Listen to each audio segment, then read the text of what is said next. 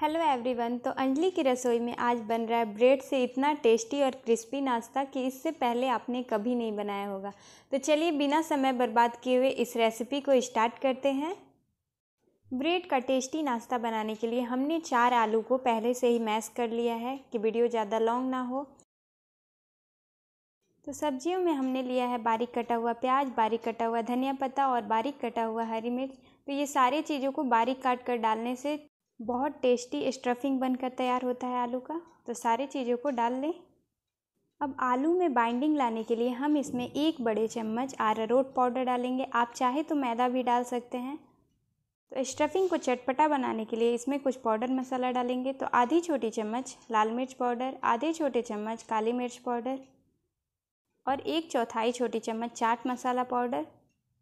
Last में इसमें आधा छोटा चम्मच नूडल्स मसाला पाउडर डालेंगे। इससे टेस्ट बहुत अच्छा आता है। अब इसमें डालें स्वाद अनुसार नमक और एक चौथाई छोटी चम्मच कलौंजी। अब ये सारे चीज़ों को अच्छे से मिक्स कर लेंगे आलू में। तो आलू में बाइंडिंग लाने के लिए आप मैदा या अरारोट पाउडर ज़रूर डालें। तो हमने सारी चीज़ों को अच्छे से मिक्स कर लिया है। तो आलू का स्टफिंग बनकर तैयार हो गया है। तो पहले हम ब्रेड का जो ब्राउन वाला पोर्शन है उसको हटा लेंगे।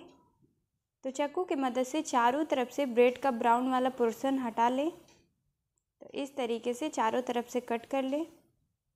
तो सारे ब्रेड को पहले हम इसी तरीके से ब्राउन वाला पोर्शन को हटा लेते हैं। तो सारे ब्रेड का हमने ब्राउन वाला पोर्शन हटा लिया है। तो अब हमें इसे बेलना है। तो बिल्कुल इसे हमें रोटी जैसा बेल लेना है। तो बेलन की मदद से ब्रेड को एकदम पतला कर ले इस तरीके से। तो आप देख सकते हैं कितना बिल्कुल रोटी जैसा पतला हो जा रहा है।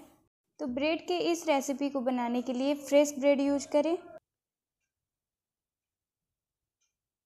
तो सारे ब्रेड को हमने इसी तरीके से पतला बेल लिया है। तो अब हम क्या करेंगे कि पहले हम टमाटो सॉस लगाएँगे, एक साइड से लगाएँगे।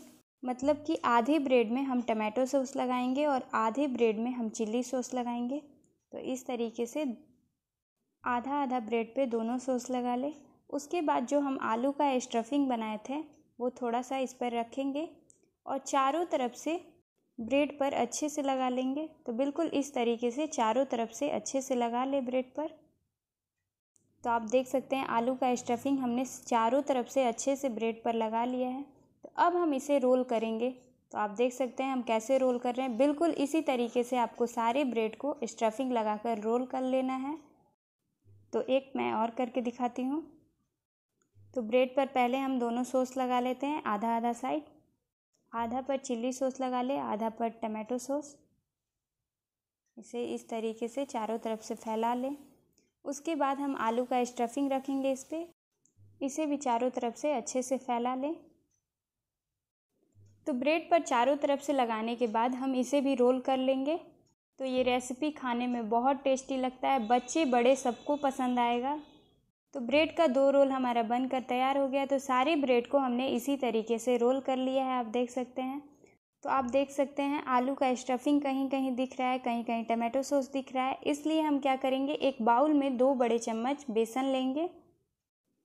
तो हम इसमें डाल रहे हैं आधा छोटा चम्मच नमक। तो नमक स्वाद अनुसार डालें। कुछ पाउडर मसाला डालेंगे तो आधी छोटी चम्मच लाल मिर्च पाउडर, आधी छोटी चम्मच हल्दी पाउडर आधे छोटे चम्मच धनिया पाउडर और एक चौथाई छोटी चम्मच काली मिर्च पाउडर डालेंगे इसमें।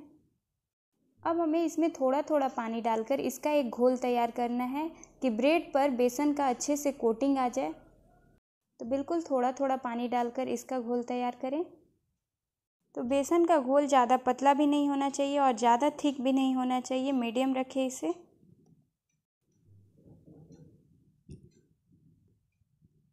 तो थोड़ा थोड़ा पानी डालकर हमने सारी चीज़ों को अच्छे से मिक्स करके बेसन का एक घोल तैयार कर लिया है। तो बेसन का सिर्फ़ हम ब्रेड पर कोटिंग करेंगे तो तलने के बाद क्रिस्पी नहीं होगा तो इसलिए हम एक बड़े चम्मच इसमें आरारोट पाउडर डालेंगे।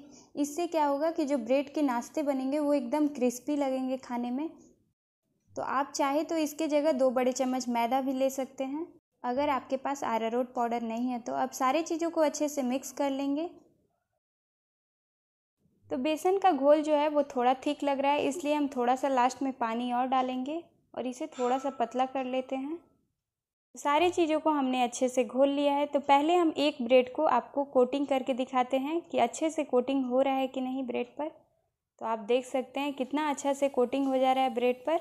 तो अब हम चलते हैं ब्रेड को तलने के प्रोसेस पर। तो गैस पर हमने पहले ही ऑयल रख दिया था तो ऑयल हमारा मीडियम गर्म है। तो बेसन के घोल में एक एक ब्रेड को अच्छे से डिप करके ऑयल में डालेंगे तलने के लिए। तो बिल्कुल इस तरीके से फॉक के मदद से डालें ऑयल में। तो ये प्रोसेस हमें बहुत जल्दी करना है, क्योंकि ब्रेड एकदम सॉफ्ट होता है। तो बेसन में जाते ही ब्रेड एकदम टूटने टूटने हो जाएगा, इसलिए एकदम जल्दी से इसे ऑयल में डालें। तो जितना ब्रेड रोल ऑयल में आया, उतना हमने डाल लिया है। तो अब मीडियम फ्लेम पे इसे अच्छे से तल लेते हैं कि इसका कलर एकदम गोल्डन ब्राउन दिखे। एकदम जैसा पकौड़े का कलर होता है तो बिल्कुल उसी तरीके से इसे तल लेते हैं। तो ब्रेड का जो कलर है, वो धीरे धीरे चेंज हो रहा है। तो अब हाई फ्लेम पे इसे तल लेते हैं। तो बिल्कुल इसी तरीके से चलाते हुए हाई फ्लेम पे इसे अच्छे से तल लेते हैं और इसका कलर एकदम गोल्डन ब्राउन आ जाए, तब हम इसे निकालेंगे। तो हाई फ्लेम पे हमने अच्छे से तल लिया है। तो आप देख सकते हैं ब्रेड रोल का जो कलर है, वो बिल्कुल चेंज हो गया है। तो अब हम इसे निकाल लेते हैं। तो फ्लेम को एकदम लो कर देंगे और सारे ब्रेड रोल को निकाल लेते हैं किसी बर्तन में। तो बिल्कुल इसी तरीके से सारे ब्रेड रोल को तल कर तैयार कर लेते हैं।